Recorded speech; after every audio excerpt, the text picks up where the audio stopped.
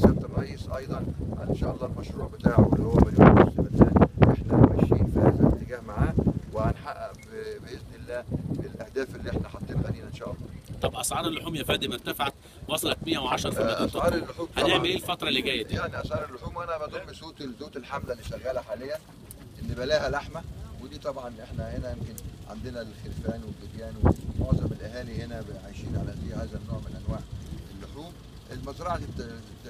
تسمين الماشيه اللي موجودة عندنا دي إحنا صدقنا من السيد وزير التخطيط على عمل مجزر بتكلف 12 مليون جنيه نص آلي تكلف 12 مليون جنيه مناصفة مع التعاون الدولي 6 مليون تخطيط 6 مليون تعاون الدولي. يبقى هيبقى عندنا المزرعه بتاعتنا عندنا المجزر بتاعنا في هذه الحالة نقدر نستخدم اللحمة بتاعتنا بدل ما تيجي من القاهره وبتيجي من من خارج المحافظه فبتتكلف نقل وبتتكلف آه، بتيجي غالية هنا في